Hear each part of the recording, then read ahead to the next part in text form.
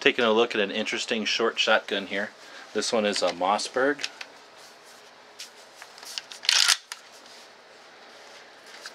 And it's, it's a registered shotgun, so in other words it's registered with the ATF so that it can have a short barrel.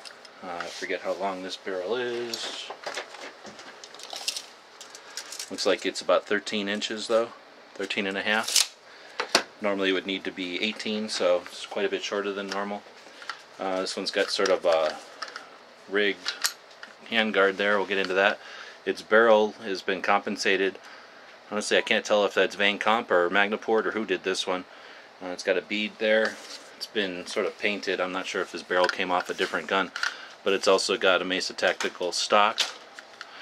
It's pretty nice. There's a rail that would normally be on here to hold an optic. Um, because the safety on a Mossberg is up top. It's got this sort of ambidextrous aluminum piece that'll move the safety from either side.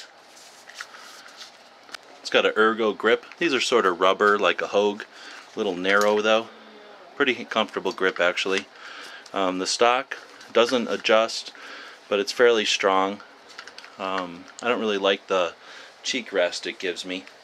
You can see it's very straight here and I'm used to it being down a little bit so it's a little high. Of course I'm not looking through the optic.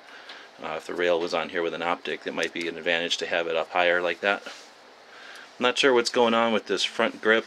Looks like they either modified the Mossberg uh, pump grip there or at least swapped out the thing. Maybe you're supposed to be able to put your keys on here but uh, I don't know, that seems a little clumsy to me, but there's probably some reason to put a little clip like that on the front of your shotgun. I'm just not aware of it. But anyway, this is a pretty neat little uh, SBS, short barreled shotgun. Uh, it's a 12 gauge Mossberg 590. And actually it's very lightweight, real easy to maneuver, uh, except for the, the pump grip there. I kind of like it. So uh, had a chance to take a quick look at it. Thought I'd turn the camera on and put it out there.